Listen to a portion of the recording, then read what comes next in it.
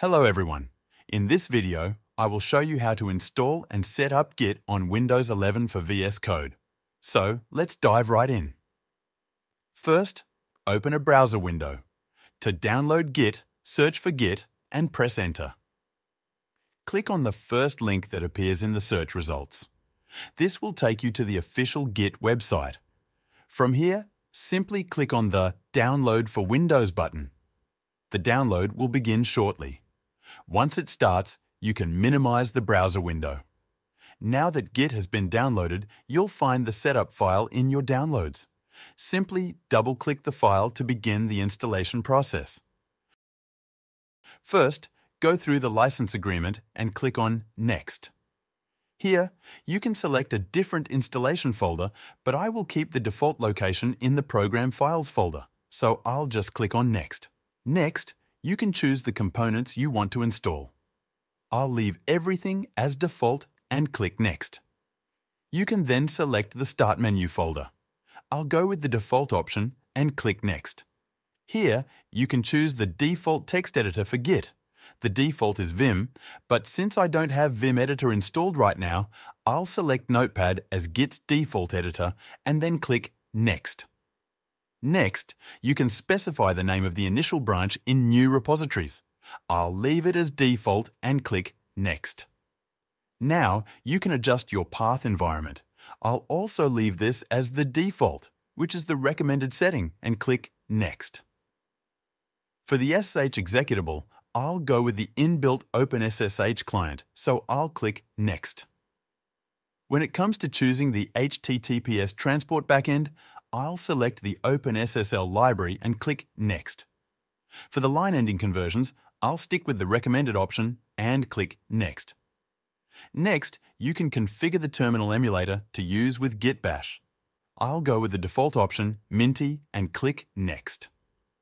For the default behavior of Git pull, I'll stick with the default option and click Next.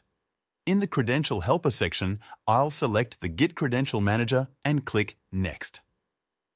Now, you can configure extra options. I'll enable file system caching. If you prefer, you can also enable symbolic links, but I'll stick with the default settings and click Next. Here, you can select any experimental options. For this tutorial, I won't select any of them. Once done, click on Install. Git has now been successfully installed on my system. You can launch it immediately from here by checking Launch Git Bash and clicking Finish. As you can see, the Git command line window has opened. From here, you can perform any Git operations you want. Let me close this window. You can also access Git Bash by right-clicking anywhere on the desktop, selecting Show More Options, and then clicking Git Bash here. This will open Git Bash inside the current directory. To further check if your Git bash is installed, you can open the search bar from menu and write cmd. Open the command prompt and write the command git version. This will show you that your Git is successfully installed.